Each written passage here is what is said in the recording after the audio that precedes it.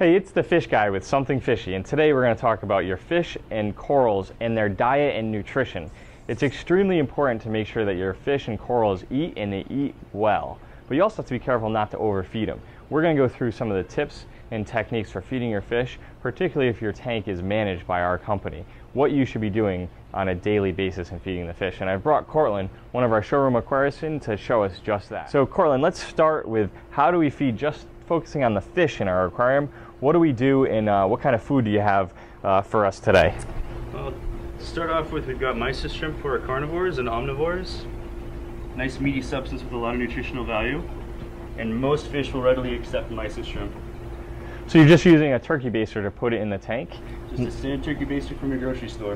One of the things that's important, Cortland, that I see that you're doing is you have a, a cup of uh, these shrimp in your hand, you're not pouring all of it into the aquarium. You just put a little bit in, and we're waiting for the fish to eat over several seconds or 15 seconds or so. And once that starts to, to disappear, then we'll continue to add a few more uh, of the shrimp. Is that correct? That's correct. The other thing is that in a reef tank, you have crabs, snails, and uh, different inverts uh, that, and even fish that hide behind the rocks. So some of the food going into the rock base is acceptable in a reef tank. Absolutely. The, the shrimp is more of a of kind of a snack for them, right? It doesn't have as much nutrition as maybe what we're going to feed next. Very true. So what's next? Next we'll do a product called F2. It's for our herbivores, more of our uh, plant-eating fish, such as our tangs, our blue hippo tang in here. So we've mixed this up. This started frozen, and it was a mixture of both small and uh, and medium-sized chunks of food so that the different sizes of fish have uh, their selection to eat from, correct? Yes. yes. Next we have some silver sides. There are a couple fish that like the larger uh, quantities of food. So we have some actual small fish, silver sides for them to eat. So it's kind of an exciting snack. And for our customers that if they don't want to touch the silver sides, they could either use gloves or tweezers would work as well, correct? Yes, that'd be a lot easier. Plus keep your hands from smelling like fish. So now that the fish are fed, what do we do for our the rest of the tank, all the live corals? Next, what we're going to do for all the corals is we have a slurry of different types of food, and that's going to pre, pre, be pre-measured out for each customer as well. That looks like it's got a lot of great stuff in it. You want to try some? so again, uh, oversized turkey baster, if you will, right, for our deeper tank. Yes, the great thing about this product, the Sea Squirt, is it is extendable to 36 inches for your deep tanks.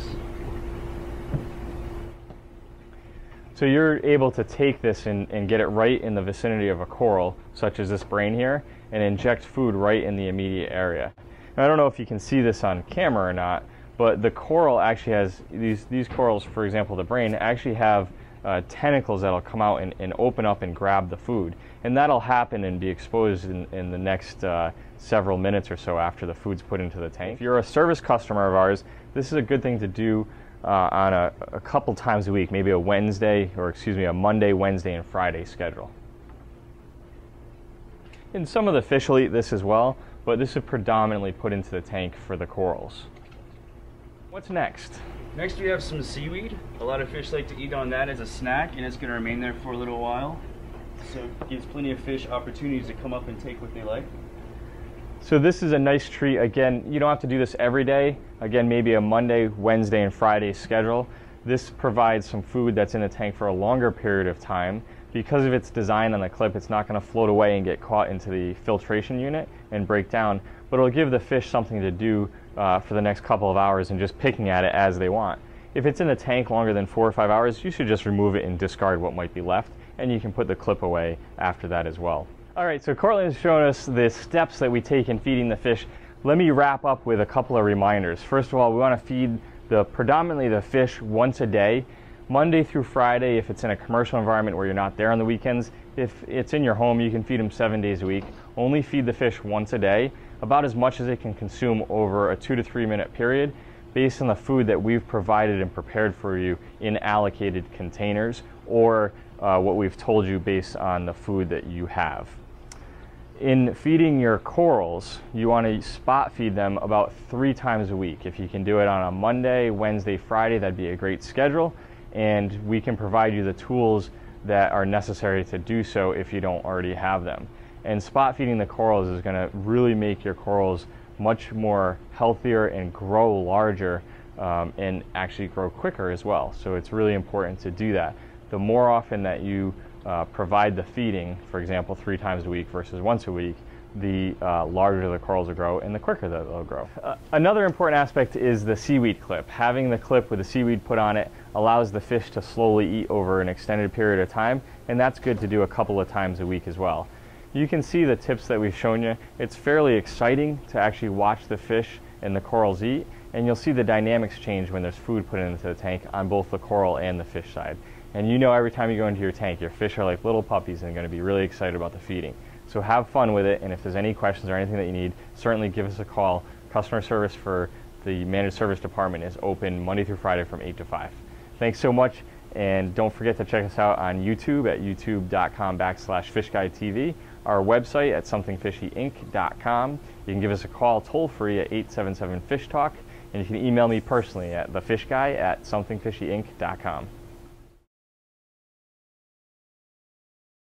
As we fed earlier, Mysis Shrimp, we have a different uh, available options for you. We have flat packs, which are more bang for the buck, or we have the cubes, which are easy to administer. And if you're more on a time crunch, you just need to go and feed real quick. You can do a cube per tank usually, depending upon what size tank you have.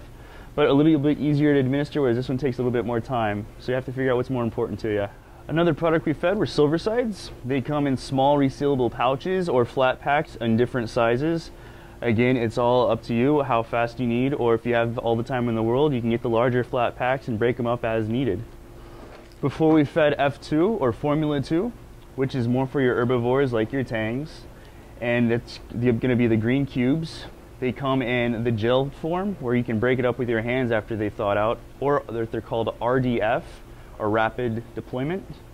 And it breaks up easily for you so you don't have to be squishing the uh, gelled food in your hands. We also have Formula One for your omnivores and carnivores. So if you have your clownfish, your cardinals, certain angels, and a large majority of your saltwater fish are going to prefer the F1 just because it's more of a broad spectrum food. But same uh, administering principle. They're a gelatinous uh, binding agent, so you can squish them together, break up the pieces to different sizes, or get the RDF that breaks away uh, rapidly for you and does all the work. One food we didn't talk about was prime reef. This is a very small, fine piece of food, all chopped up, but still in cubes. And this is great for reef tanks because many fish are going to like the smaller particles as well as the corals. So this is kind of a good all-encompassing food for corals and fish. But it's also nice to include F1, F2, all the other food products we talked about because like you and I, we all like a little variety in our lives. So you have a lot of different options to choose from. If you don't feel like throwing out your food, we do have them available as flakes or pellets, which are going to be easier to administer, especially in the daily containers that we provide for you as service customers.